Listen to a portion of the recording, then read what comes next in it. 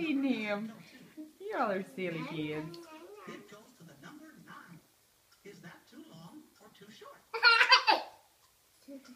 Um, I have to clarify why Madeline has on a tank top over her pajamas. It's because Madeline likes to unzip her pajamas and take them all the way off while she is in bed, supposed to be going to sleep. So she wears a tank top on top of her clothes to keep her from taking off her clothes. Miles has no clothes on.